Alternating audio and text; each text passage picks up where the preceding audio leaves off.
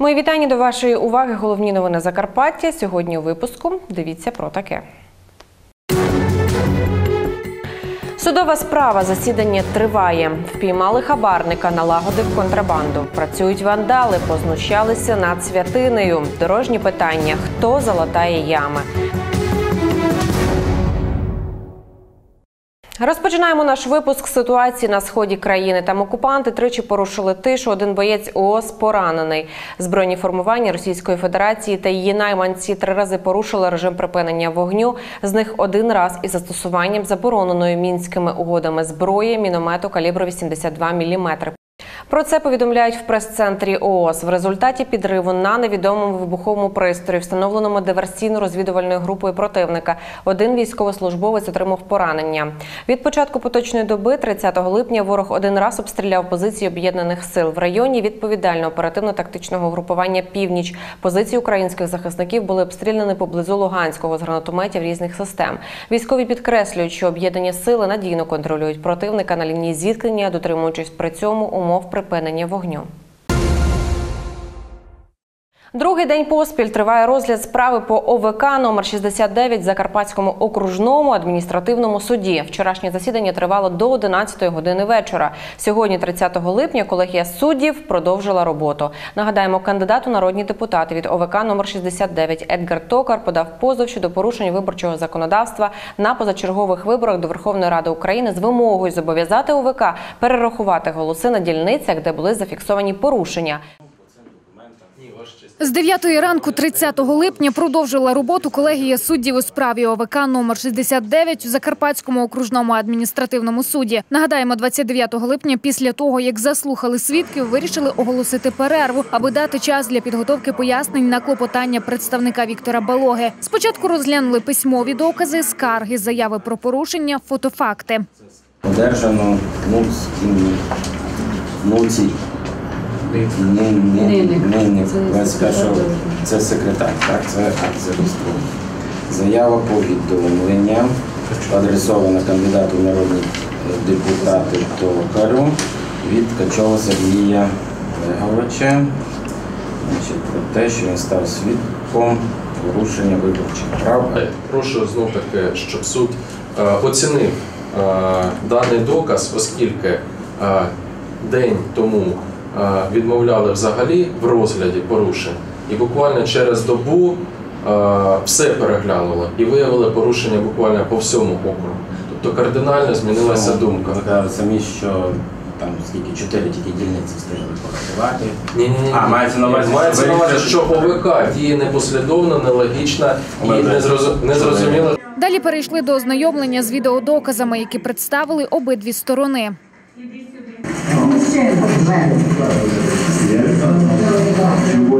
Близько 18.30 суд виніс рішення. Позов Едгара Токаря задоволений частково визнано протиправним і скасовано протокольне рішення ОВК номер 69 від 23.07.2019. Зобов'язано ОВК повторно розглянути заяву Едгара Токаря про проведення повторного підрахунку голосів виборців на 13-й ДВК, де зафіксовано порушення. З 1 серпня для українців подешевшає газ. Його кінцева ціна для населення знизиться на 5,5% і становитиме 5568 гривень за тисячу кубометрів разом з ПДВ. Так само з 1 серпня подешевшає газ і для промислових споживачів. З 1 серпня також вступають в силу нові тарифи на послуги розподілу та передачі електричної енергії, і вони на 10% менші за попередні. Це означає зменшення кінцевої вартості електричної енергії для непобутових споживачів споживачів. В Україні зросла заробітна плата. Про це йдеться в даних Державної служби статистики. Реальна заробітна плата в Україні в червні 2019 року зросла на 8,1% в порівнянні з червня 2018 року. Середня номінальна заробітна плата штатних працівників в червні 2019 року в порівнянні з травнем 2019 року збільшилася на 5,3% в річному вимірі, становивши 10 тисяч 780 гривень. Найбільше зростання середньої заробітної плати штатних працівників у червні 2019 року спостерігалося в Донецькій, Сумській та Дніпропетровській областях. Найвищий рівень зарплат в травні зафіксовано в Києві 15 тисяч 700 гривень. Національний банк зміцнив офіційний курс гривні на 18 копійок, встановивши його на 30 липня на рівні 25 гривень 25 копійок за долар. Про це йдеться у даних регулятора. Офіційний курс гривні до євро встановлений на рівні 28 гривень 8 копійок. На 29 липня 28 гривень 33 копійки. Востанній курс гривні перевищував ці позначки в серпні 2016 року. Сьогодні в Ужгородській міській раді відбувся брифінг міського голови з питань прибирання, капітальних ремонтів та реконструкції в Ужгороді. Які саме питання піднімались під час брифінгу? Дивіться у нашому сюжеті. Уже цього літа відкриють відремонтовану частину площі Петефі. На в'їзді до вулиці Льва Толстого тривають завершальні роботи. Далі другу сторону скверу перекриють. Тут проводитимуть підготовку до заміни інженерних мереж. Роботи планують завершити до зими, а далі наземні прокладання бруківки та ремонт тротуарів. Вартість усього проекту 32 мільйони гривень. в якому вона буде стані, ви розумієте, так що ці всі е, розриття, розкопки, які ми будемо робити, ми будемо ісходити із того, що у нас по факту на даному місці буде. Затримається воно на місяць, добре, на два теж, але ми е, постараємось по максимальних е, датах прийти все-таки до зимнього періоду для того, щоб там по цій території е, мешканці могли е, вільно рухатись. На завершальній стадії ремонт набережної незалежності. Я от сьогодні мав зустріч у губернатора, і я згадую ці моменти в минулому році, коли приїхала компанія, яка знімала фрезуванням, займалася цього пок- проїжджої частини набережної, набережної незалежності, і фактично нам заважали це робити. Тривають капітальні ремонти і в школах Ужгорода. В минулому році розпочалося і продовжуємо в цьому році. Роботи завершені по капітальному ремонту фасаду лівістичної гімназії. Також зараз продовжуються роботи по благоустрою шкільного дворика самої цієї гімназії. Відповідно, фасад виконаний відповідно до вимог е, архітектури. Зокрема, завершено ремонт на вулиці Собранецькій та Шумній. Міський голова також пояснив, що через блокування тендерних процедур міська рада не могла викосити борщівник. В продовженні теми дивіться наступну новину. Міністерство культури України не надавало погоджень і дозволів на проведення будь-яких робіт на території площі поштової в Ужгороді, де триває будівництво торгового центру. Таку відповідь на свій запит отримав від міністерства народний депутат України Роберт Горват. Нагадаємо, йдеться про старі підвали в самісінькому центрі Ужгорода, які виявили під час земельних робіт на площі поштовій 4А. Нову кам'яну кладку у вигляді арки, яка може бути частиною підвального приміщення, знову виявили будівельники. Попри знахідку, роботи на майданчику тривають, і зупиняти їх підрядник не має наміру. Чи є у вас дозвіл на проведення земельних робіт, отриманий у Міністерстві культури України станом на момент, як ми зараз стоїмо на 30 липня 2019 року? Ну наскільки скажімо, ми спілкувалися з рятівною археологічною службою, дозвіл не служба де дозвіл не видає? ні на даний момент у нас дозволу безпосередньо немає. Але ви здійснюєте земельні роботи. Підрядна організація зі Львова, що проводить роботи на будмайданчику, нині працює на підставі попереднього висновку рятівної археологічної служби та комісії міської ради. Вони дозволили продовжити роботи, не торкаючись при цьому самих підвалів. Представник рятівної археологічної служби в Ужгороді Йосип Кобаль каже, підстав зупиняти будівельні роботи немає. Це перемішані нашарування 19-20 століття. Бите скло, сміття, кістки, тарілки і проче, і проче. Ніяких стародавніх предметів чи будь-чого нема. Оце. На даний момент тут знайдено скільки? Тисячі, десятки тисяч битих тарілок скла різного часу, від радянського часу до 19 століття. Жодних знаків, які б мали якесь там видатне значення, чи, чи якийсь черепок, чи якась посудинка з, з штампом, чи з чимось, тут не знайдено. Представники підрядної організації запевняють, зроблять усе, щоб зберегти знайдені підвали. Для цього можуть внести зміни до самого проекту торгового центру. Утім, ці запевняння, як і висновки археологів, поки усні. Письмових підтверджень та зобов'язань цьому немає. На брифінгу для мас-медіа у вівторок, 30 липня, міський голова повідомив, що підрядник збереже підвал, але як саме ще вирішують. Прикордонники є там в різних частинах старих міст, десь під склом якась ділянка, як воно виглядало раніше. Є, є така домовленість, що десь вони цю частинку хочуть таким чином зробити, щоб через прозорость скло було видно, що саме там знаходиться. Але е, висновки цих експертів, що воно не має там ну, історичного чи культурного значення, щоб там ну, заморозити це будівництво.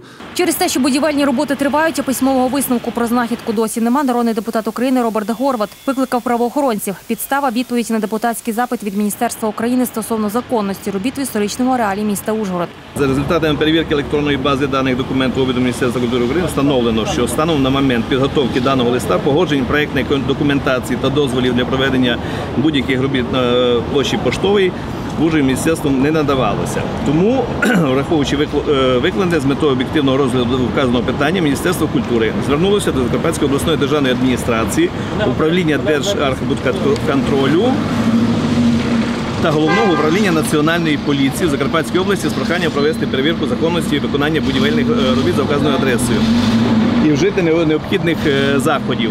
Оскільки питання зі збереженням старих підвалів досі не узгоджене, народний депутат України просить всі профільні органи влади відреагувати на ситуацію і триматиме її на контролі. А далі ще одна новина, яку ми не могли уминути увагою у цьому випуску. Відеозвернення працівників пологового, що у місті Ужгороді було опубліковано днями у соціальній мережі Facebook. У відеозверненні вони зазначають, що усі посади у держустановах продаються від прибиральниці до керівника. Сьогодні міська влада цинічно продає посаду керівника медичного закладу, нехтуючи думкою колективу, змінюючи умови конкурсу під вигідного кандидата. 24 червня, після двох попереджувальних підпалів автівки претенденту на посаду голови пологового будинку Вікторії Пантьо, взявши гроші від іншого претендента, який неодноразово притягався до відповідальності за корупцію, цинічно нехтуючи думкою трудового колективу та громадськості, брати Андрієви вирішили перетворити конкурс на аукціон, зазначається у заяві колективу. Але за підтримки місцевих депутатів та громадськості пройшла висунута колективом пані Вікторія. Після цього пройшло більше місяця, а контракт і досі не підписаний. При цьому деяких членів комісії та депутатів залякують та заставляють відмінити результати конкурсу. Шановний пане президенте, Володимир Олександровичу Зеленський, звертаємося до вас від імені тих, хто ще не втратив надію на щасливе життя для себе та для своїх дітей у рідній країні. Розуміємо, що провести справжні реформи можна тільки за підтримки однодумців у законодавчій владі, уряді та місцевих громадах. Але чи довго ще у місцевих громадах будуть хазяйнувати бандити, хабарники, злодії, які звикли і відверто продовжують нехтувати законом?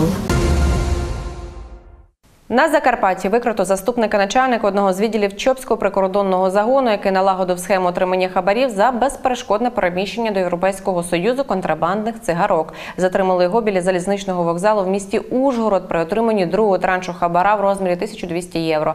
Загалом сума, яку прикордонник вимагав та отримав, складає 1800 євро. Більше знають мої колеги.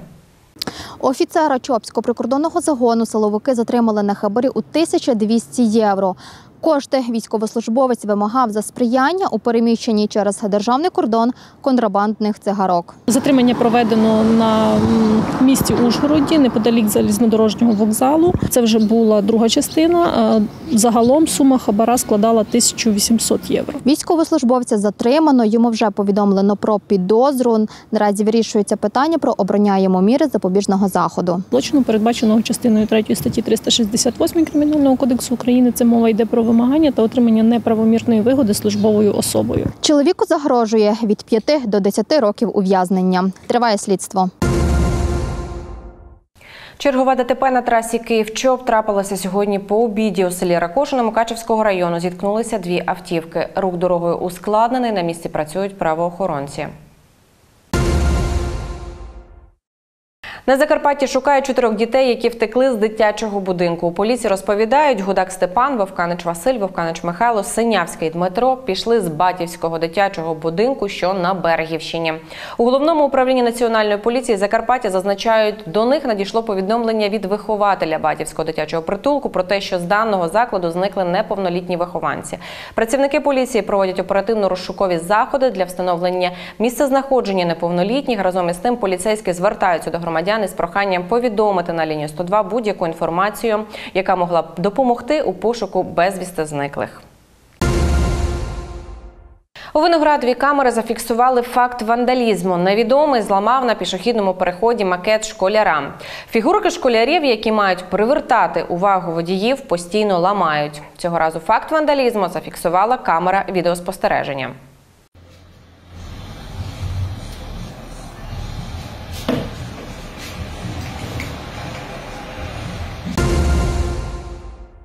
Вже в третій раз від рук невідомих страждає каплиця зі статуєю Святої Марії в селі Голубини. Спочатку руйнували лише оздоблення, та нещодавно зачепили і саму статую, зламавши їй голову. Люди здивовані та не розуміють, кому це потрібно. Більше у сюжеті. Збентежені люди не можуть зрозуміти, кому залежає каплиця, яку силами цілої вулиці будували при в'їзді в село Голубини. Такого його точно все не робить, то вже свині, не люди. То є свині. А хотіла б, аби так було і з ним, хто то зробив. Би обстався без голови. Бо попробував, що то є. Перед встановленням каплиці тут було сміттєзвалище. Розчищали ділянку та збирали гроші на встановлення споруду лише силами бажаючих, без примусу. Тому на своїх не думають, пояснюють жителі села. Та вандалізм відбувався неодноразово. Весною е, там е, ми посадили були туї. Е, Дуже красиво, дуже гарно почали оті дерев, деревка, деревця маленькі рости.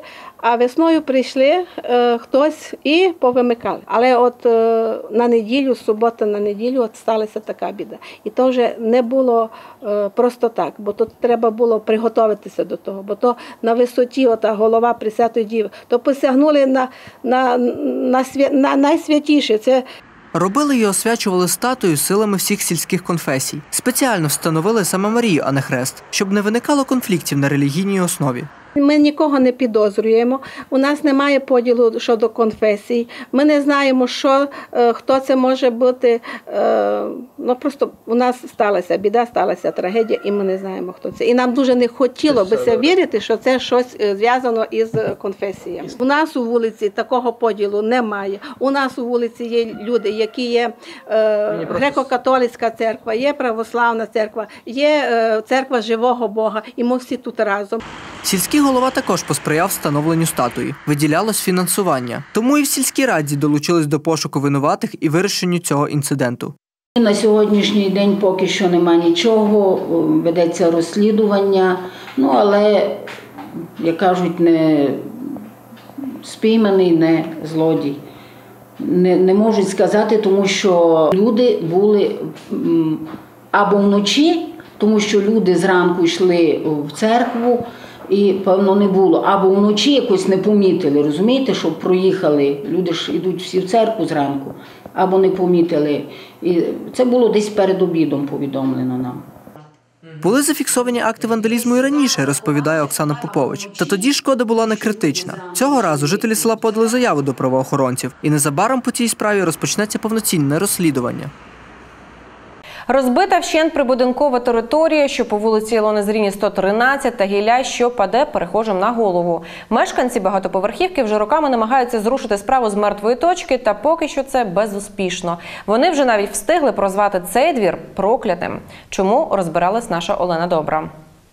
По этим дорогам, пока не один человек, а несколько не поломают ноги, не за Мешканці мікрорайону називають двір будинку Ілони Зріні 113 проклятим. Розбитий вщент асфальт, сухі дерева, що от-от впадуть, і так триває вже роками. Я вже два роки вдома. От два роки така дорога. Тут були вибори, по-моєму. Тут трохи залатали, от кусочок. Як тільки вибори закінчилися, забули, то все повністю. В одному з під'їздів будинку знаходиться амбулаторія. Тут постійний потік дорослих з дітьми і просто хворих. Аби добратися сюди, треба пройти справжні випробування.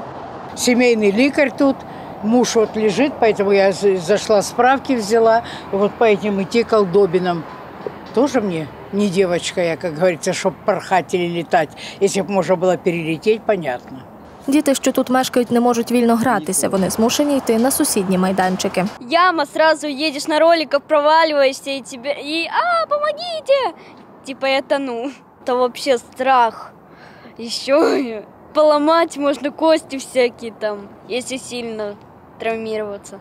Я повинен йти у другий район покататися, наприклад, із малою от, е, на цих, о, на велосипеді, на самокаті, тому що ну, тут невозможно, тут вбитися можна.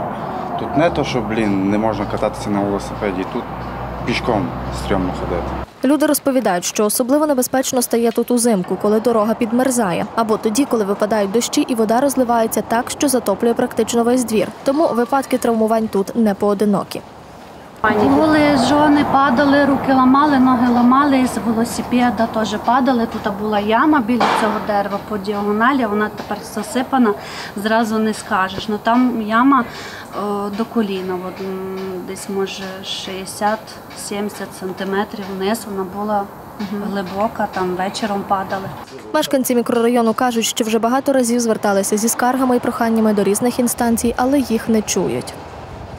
Є в мене цей, як він називається, рішення, що дерева мають спилені бути. Не знаю, по якій причині не спилили. Тепер там саме головний it сервіс відпуску. Тож у жителів будинку постає питання, скільки ще треба скарг і звернень, аби розірвати це зачароване коло, і коли, врешті-решт, обслуговуючі фірми будуть виконувати свою роботу. У селі Лопушні Міжгірського району вантажівка перевернулася в річку. Водій помер на місці, повідомляє управління ДСНС Закарпатській області. На місце події виїхала слідчо-оперативна група та працівники сектору реагування патрульної поліції. Правоохоронці встановили, що 32-річний мешканець села Лопушня, рухаючись на вантажному автомобілі лісовою дорогою, не впорався з керуванням та перекинувся в річку. За даним фактом відкрите кримінальне провадження за частиною 2 статті 28 Кримінального кодексу України порушення правил безпеки дорожнього руху. В озері на Мукачівщині втопився чоловік. 28 липня о 20.15 надійшло повідомлення про імовірне отоплення громадянина 1979 року народження в місцевому озері, що в селі Бобовище Мукачівського району. Учора, 29 липня, о 9.45 тіло потопельника знайшли та передали правоохоронним органам. Повідомляють у ДСНС України в Закарпатській області. З початку 2019 року на території Закарпатської області жертвами води стало 17 краян. Щоб попередити громадян про небезпеку під час відпочинку людей на воді, виноградівські рятувальники провели роз'яснювальну роботу з населенням на найбільш відвідуваних берегах річки Тиса. Спілкуючись з любителями водних процедур, працівники ДСНС розказали їм про небезпеку, котра може чатувати на них під час купання, а також розказали про деякі правила поводження на воді. Американський професор Джон Свонсон 28 липня став екскурсоводом у селі Білки Іршавського району. Під час екскурсії професор розповів про єврейську історію Закарпаття часів Другої світової війни, а також про Лілю Якоб, дівчину єврейку із села Білки. Ліля Якоб відома тим, що змогла пережити голокост, знайшла та зберегла фотоальбом своїх рідних та односельчан, які були вбиті нацистами. Цей альбом був представлений на заході. До слова, професор Джон Свонсон спеціалізується на історії голокосту. Навіть опублікував кілька робіт із цієї теми. Це була остання новина. Вже завтра у випуску. Дивіться про таке. Продовження теми судова справа по ОВК номер 69. Врожаї під загрозою. Наслідки підтоплення. На цьому в мене все. Бажаю вам всього найкращого та тільки хороших новин. Побачимось.